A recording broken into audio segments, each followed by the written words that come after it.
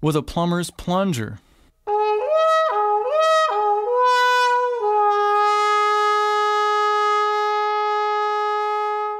You'll hear more of that sound if you listen to Duke Ellington records made in the 1920s and 30s.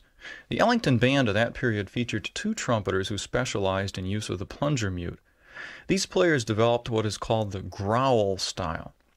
Listen to selections that feature Bubber Miley and Cootie Williams.